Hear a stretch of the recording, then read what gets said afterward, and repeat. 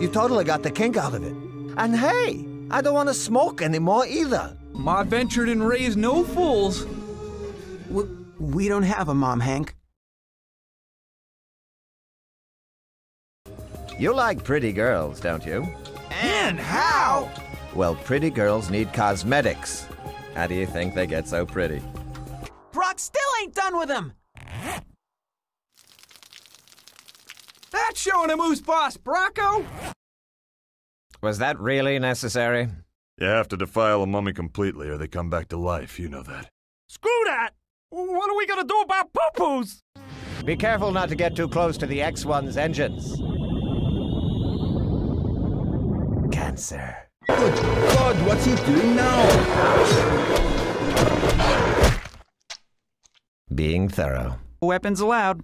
I'll have to confiscate it. Go ahead. Take it from me. Clever boys, but not nearly clever enough. Did they really think they could hide it from me for long? The monarch has many ways to sting.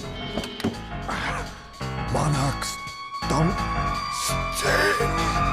Super Runaway! I present to you the Ure!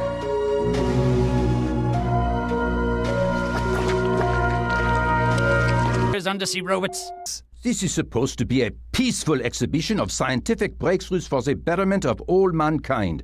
And you show up with this, this, this weapon of devastation. Weapon? What are you talking about? Well, what the hell do you call it? The Ure, I mentioned that. Why, the applications are limitless. Are you kidding me? You blew up a model city with it. What are we supposed to sing?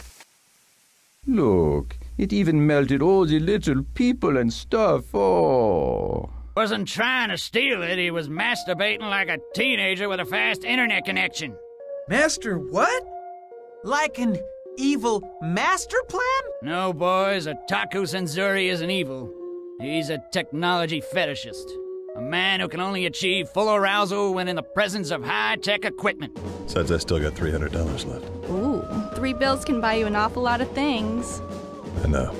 I'm gonna want change. But you're gonna make it. Hard to believe considering the size of this thing we pump from your stomach.